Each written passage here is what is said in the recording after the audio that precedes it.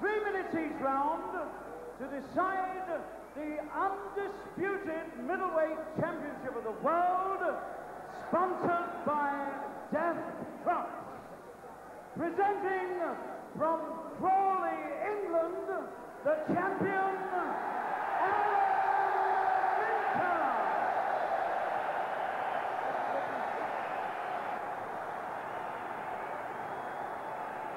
And uh, from Brockton in the United States, the challenger, Marvelous Marvin Hagler. My lords, ladies and gentlemen, this match was made at 11 stone 6 pounds, and at the weigh-in today, Minter scaled 11 stone 5 and 3 quarter pounds, Hagler 11 stone 6 pounds exactly. Your referee for this contest is Mr. Carlos Berrocal of Panama. Your judges, Mr. Marcello Bertini of Italy and Mr. Jose Guerra of Mexico. And your timekeeper, Mr. Jeffrey Williams.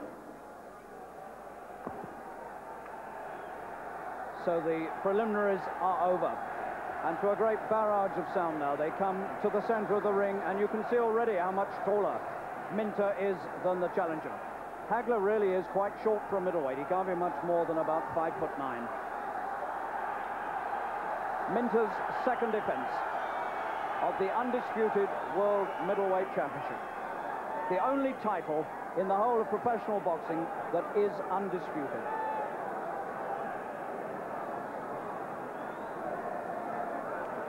Hagler must face Minter and the crowd.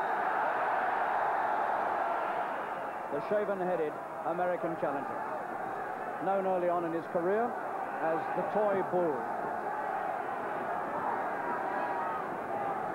Clearly a dangerous opponent. And Minter is going to be the governor from the start if he can make it.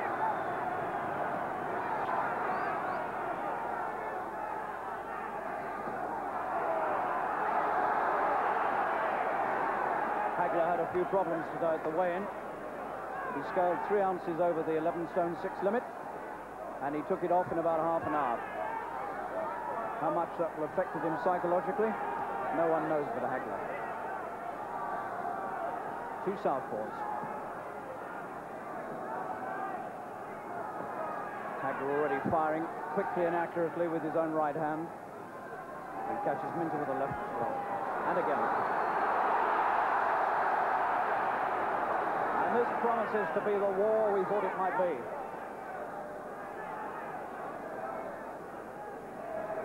Hagler is said not to be so good if you get him under pressure.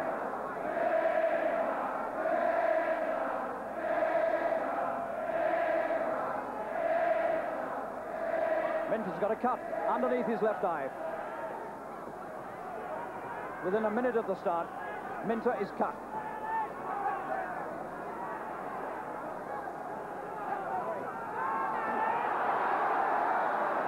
So the accuracy and the stinging effect of Hagler's punching is already apparent on the champion's face.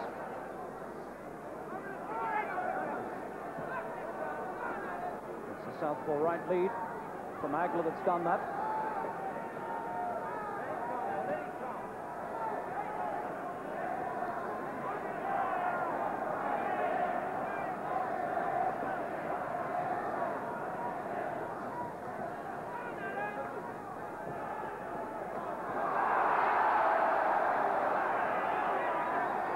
Two have got down to business very, very quickly.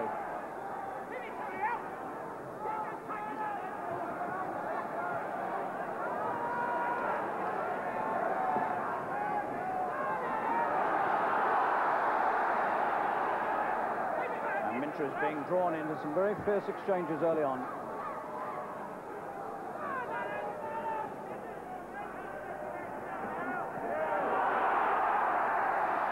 Hagler has come for the title he believes he deserves.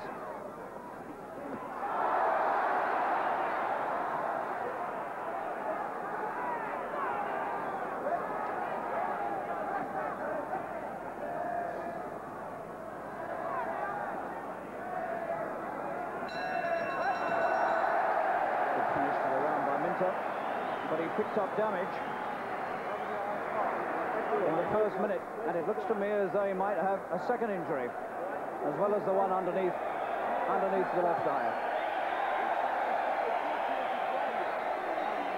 So, the champion, after only three minutes, needs somewhat urgent attention in that corner, and that's entirely due to the sharp and accurate punching of the challenger Hagler. The shaven-headed challenger from Brockton, Massachusetts, which of course was the home of the late and great Rocky Marciano. Born in the slums and ghettos of Newark, New Jersey, he moved to Brockton, Massachusetts when he was 16 years old. Now Minter, marked underneath the left eye, and there may be damage elsewhere. Settle down.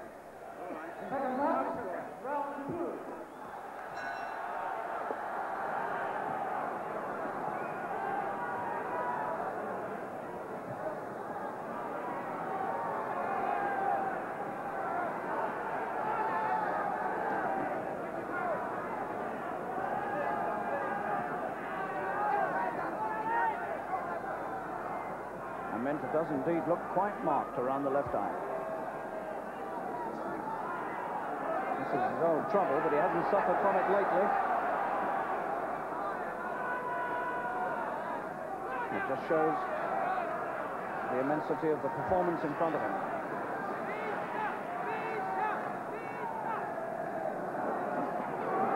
Hagler is catching him with lefts over the top as well. This is a very determined and dangerous challenger. Good punch from. What a right hand. Pulled the man up in his tracks. And this is certainly one of the most savage world championships we've seen here in this country for a long time.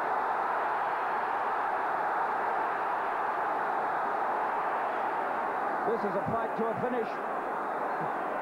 And that finish is never going to be 15 rounds away at this rate. Never. Minter bleeding. Bleeding from the nose. And these two have felt the weight of each other's punches already.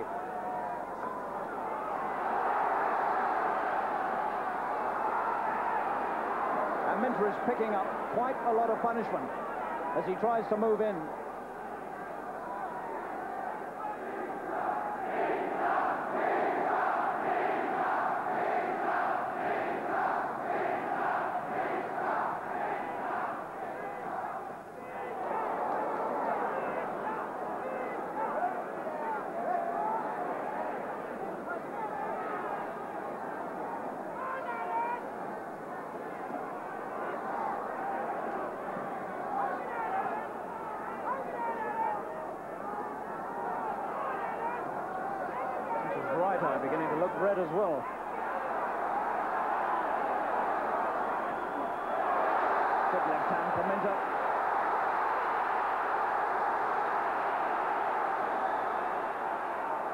Pair really are launching the most savage attacks at each other. And we're only six minutes into the fight.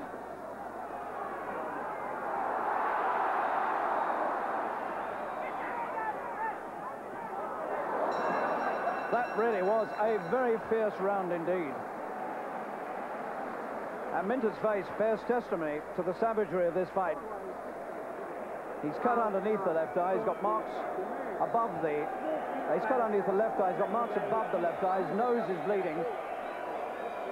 And really, he has taken more punishment in the, in the first two rounds of this fight than in several recent fights put together. Hagler, unmarked, but occasionally felt the weight of Minter's punching and didn't seem to like it too much. One punch absolutely pulled him up dead in his tracks. Well, the man promised a war. He said the title was rightfully his and he was coming to get it. And he certainly is trying that. And Minter is going to have to pull out the fight of his life to win this.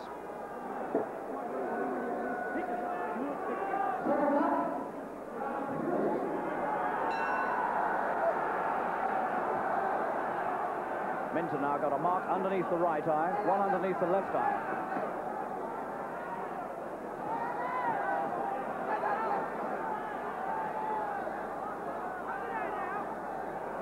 And we haven't seen Minter looking this mark for a very long time indeed. All his 60 feats, Minter, have always come through facial injury. Never been beaten on points, never been stopped by punches, always on cuts. Nose bleeding as well. And Hagler is looking a very sharp and dangerous puncher.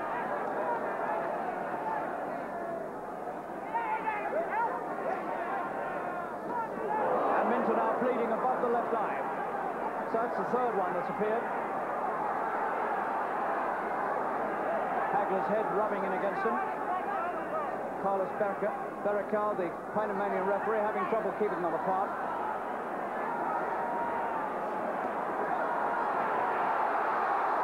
Picking up hard punches as he tries to fight back. He's being forced into a real war. He's smothered in blood, Minter, and he's in desperate trouble in the third round. He can't keep the man away. Hagler will not be denied.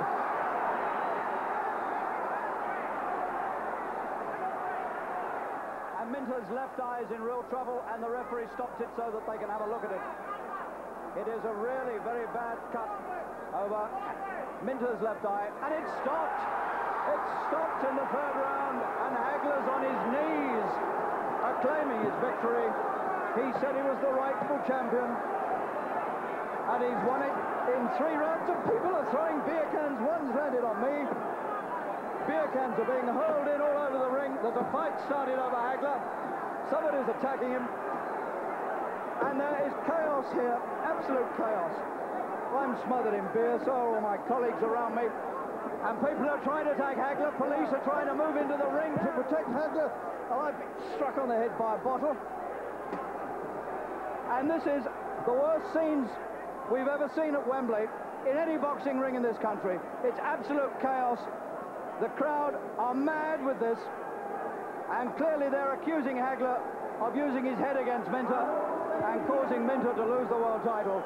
And the rage has broken out all around Wembley. And these scenes are a shame and a disgrace to British boxing. But there it is, that's what's happening. And we've all taken our share of it around the ringside, I can tell you.